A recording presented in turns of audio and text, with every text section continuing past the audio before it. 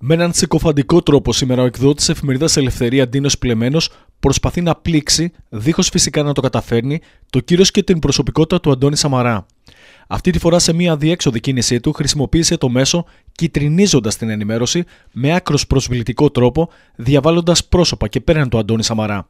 Με ψευδείς ισχυρισμούς, ανέφερε στο πρωτοσέλιδό του πως ο πρώην Πρωθυπουργός έδιωξε την επί δεκαετίε ιδιαίτερα γραμματέα του κυρία Γεωργία Γκίκα, επειδή ο σύζυγός της, Υπουργός Αγροτικής Ανάπτυξης, Διονύσης Ταμενίτης, ψήφισε ναι στο νομοσχέδιο για τα ομόφυλα ζευγάρια. Σε ένα σενάριο που ξεπερνά και τους πιο φαντασιώδεις συσχετισμούς. Αυτό συμπεραίνεται και από την ακαριά αντίδραση της κυρίας Γεωργίας Γκίκα με την επιστολή διάψευσης που απεστάλλει προς την εφημερίδα Ελευθερία και τον εκδότη της Δίνου Πλεμένο, στην οποία και σημειώνονται τα εξής, ζητώντας παράλληλα την άμεση αποκατάσταση της αλήθειας. Προς κύριο Ντίνο Πλεμένο, εκδότη εφημερίδας Ελευθερία, σε απάντηση του ψευδούς δημοσιεύματος εφημερίδα Ελευθερία που δημοσιεύτηκε σήμερα, 19 Δευτέρου 2024, σας ενημερώνω ότι ουδέποτε υπήρξε ζήτημα στην εργασιακή μου σχέση με τον πρώην Πρωθυπουργό και πρώην Πρόεδρο της Νέας Δημοκρατίας κ. Αντώνη Σαμαρά, ο οποίος με τιμά με την εμπιστοσύνη του επί 30 χρόνια.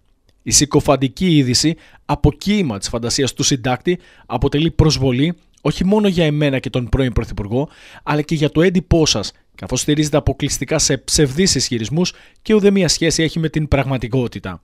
Το λίστημα αυτό εύκολα θα μπορούσατε να το έχετε αποφύγει αν μπαίνατε στον κόπο να ακολουθήσετε όσα ορίζει η δημοσιογραφική δεοντολογία και έτσι προτού προβείτε σε οποιαδήποτε δημοσίευση μου απευθύνατε ένα απλό ερώτημα.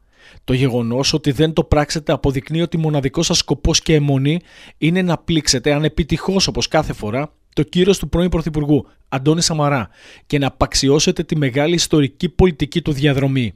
Σας ζητώ να αποκαταστήσετε άμεσα την αλήθεια, δημοσιεύοντας την παρούσα επιστολή μου στην πρώτη σελίδα στο αυριανό φύλλο της εφημερίδας σας, τόσο στην έντυπη όσο και στην ηλεκτρονική της έκδοση. Διαφορετικά, και σε περίπτωση άρνησή σας, σας δηλώνω ότι θα λάβω καθημών κάθε νόμιμο μέτρο για τη διασφάλιση και προάσπιση των νομίμων δικαιωμάτων μου.